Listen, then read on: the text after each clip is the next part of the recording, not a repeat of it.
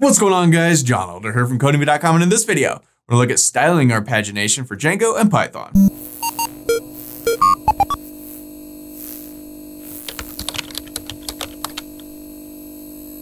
Alright guys, like I said, in this video, we're gonna look at styling our pagination using Bootstrap. But before we get started, if you like this video want to see more like it, be sure to smash the like button below, subscribe to the channel, give me a thumbs up for the YouTube algorithm, and check out Codemy.com where I have dozens of courses with hundreds of videos that teach you to code. Use coupon code YouTube1 to get $30 off membership with all my courses, videos, and books for one-time fee of just $49, which is insanely cheap. Okay, in the last video, we set up our pagination, but it didn't look that great. In this video, we want to sort of, you know, toggle around, make it look nicer, and we're going to use Bootstrap for that. So let's head over to our code. I'm using the Sublime Text Editor and the Git Bash terminal as always. And as always, you can find a link to the code in the pinned comment section below, as well as a link to the playlist with all the other Django Wednesday videos. So check that out if you haven't so far. So in the last video, we set up our pagination and I'm looking at venue.html and you see we have this just very basic HTML. And if we come back to the website here, if I hit reload and go to venues, this is the pagination we have. So first previous is very sort of boring and not very nice looking. So in this video, we want to spruce this up. So let's head over to getbootstrap.com, click on docs, and we've been using Bootstrap throughout this series. So if you don't know what I'm talking about here, go back and watch the previous videos. But we've been using Bootstrap. So here we can come down, click on components, and then come down to pagination right there. And here you see we have all kinds of options. We can do it like this. We can do it just with, uh, you know, these little arrow things. We can have disabled things, which we're going to look at, all kinds of stuff. So to use this, very simple, we just kind of grab this code and we'll go through this here. I'm going to go ahead and copy it, head back over to our code, and let's see, right up here, I'm just going to paste all this in, right above our if venues logic that we did in the last video. So here's the two main things we need at the top. This sort of designates that we're going to do pagination. This sets a UL class. We're going to use an unordered list. Unordered lists have list items, and those are usually bullet points. But in this case, there's not going to be little bullet points next to one because this is a, a pagination. It gets rid of those and it adds all that style that we looked at at the beginning of this video. So inside of here, we need to put this around these li tags around all of our links. So I'm just going to come down here and here's one and we come to the end and we need to close that li tag. And then here's another one, and we can close that one. And let's just come down here. Here's another one, we can close that one. Here's another one, we can close that one. Now we also have this page number stuff. So I'm gonna do it for that one as well, even though this isn't a link. We're gonna make it into a link so that it sort of fits in here. And okay, that looks good. So that's part of it. Now, if you come up here and look, we also need to take our ahref tags and add this class, this class of page dash link. So we need to add that to all of our links. So let's come through here and here a href. I'm just going to pop that in there. And again, I'm going to pop that one in there. Come down here, slap that guy in, and then that guy. Now you can put this anywhere in the A tag. I put it between the A and href just because I'm lazy, but put it anywhere. So, and now we can get rid of all of this stuff. Oh, no, actually we can get rid of all of these things. All right, so now we also have this page number thing. And so I'm gonna go a href equals, and inside of here, I'm just gonna, gonna put a number sign here, a hashtag. And I'm also gonna give this a class of that thing, page link. And then here at the end, I'm gonna close that A tag and we'll deal with this in just a second.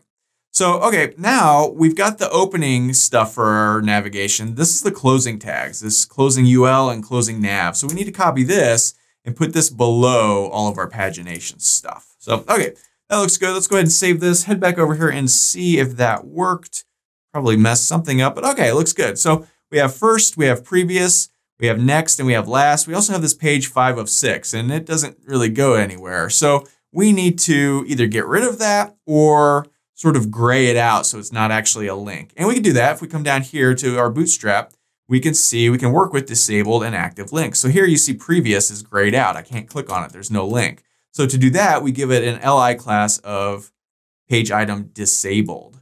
So we can do that, head back over here and find those things. So here it is, right? So instead of page item, it's page item disabled. So if we save this, head back over here, that's not quite everything. Uh, yep, no, that'll do it. So you can see now this is no longer a link. It's still there. It's still useful. It still updates, right?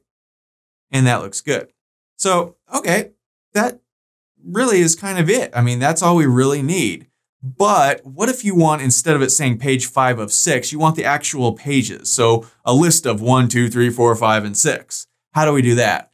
Well, that's a little tricky. So what we can do, we head back over here, we can see, well, actually, we can see, we know how many pages there are.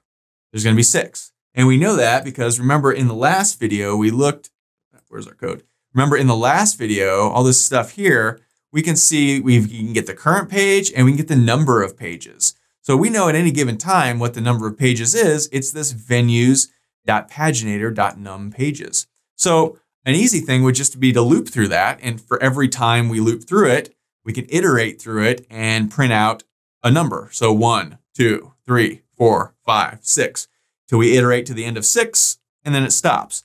Now that's easy to do with Python, but we're not really using Python on this page. I mean, we sort of do with these if statements, but we can't quite do like pure Python on this page. We know this. This is Django. These are like Jinja type things, right? So what can we do?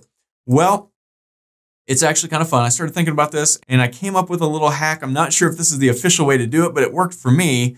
So I'm just going to do it. So I'll show it to you here. Let's comment this stuff out. So let me save this, come back and see what we're working with here now. So this page five of six thing will disappear. All right. So instead we want a list of one, two, three, four, five, and six, right? So let's come back over here. So here, normally we could, you could try something like for, let's say I in, now we know we have this venues, paginators, page numbers, right? So we could do that, right? For I in that list, and then we would just endfor. And inside of here, we could just print out, well, for now, let me just print out I, right? So if we save this, come back over here, we're going to get an error. Now, we can't, an integer object is not iterable on a view like that, right? So there's a way around this. Stick with me here. We need to create a string that has the same number of characters as our number of lists. So what do I mean by that is like we could have a string that was like one, two, three, four, five, six. This is a string with six characters.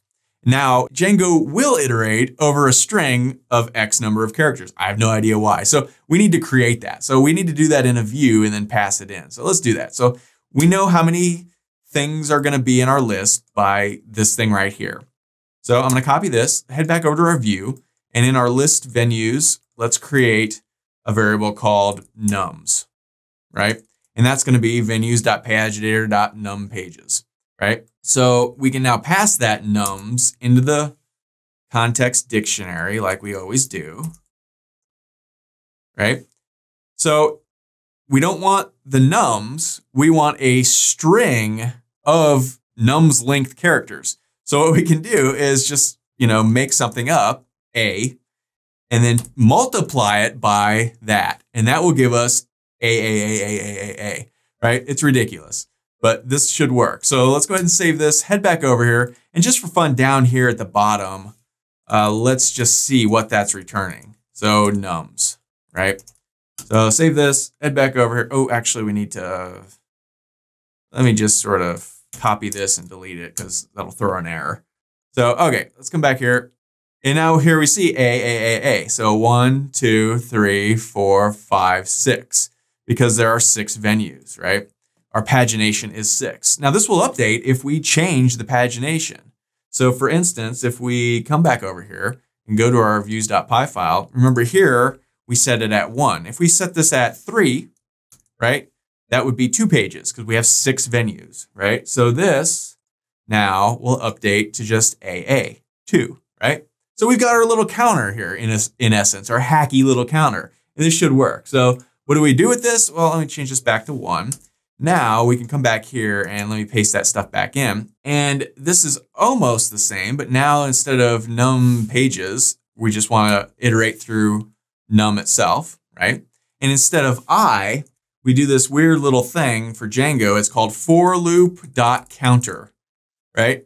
I don't know, right? But that's what it does. So let's go ahead and save this. And this still isn't going to quite work yet. But if we hit reload, now it's still not working because we have to set up the uh, HTML here. So we have to do this same stuff. So first of all, we need that, right? And we also need to create a link, an ahref link. So let's grab that. And so here, instead of venues dot page number, this is going to be that for loop counter right here. So I'll pass that in there. And then we want the for loop counter out here. That looks good. And then we need to close our A tag. So, okay, I think that should do the trick. So let's go back over here, hit reload, and something's gone wrong. Not working. Where are we at? Ah, this should be nums. There we go. It's down here. Yeah. So let's get rid of this guy down here. All right. So yeah, that'll work now. So let's head back over here, hit reload, and there we go. So this is the first previous. We can go to page one. We can go to page two. We have first, previous, one, two, three, four, five, six, right? Boom. We can go to three. We can go to next. We can go to last. And it works. Very cool. Now, again, if we change this around inside of our view, so if we say we want this, we want, uh, instead of one per page, we want two per page, this will give us three pages because we have six venues, right?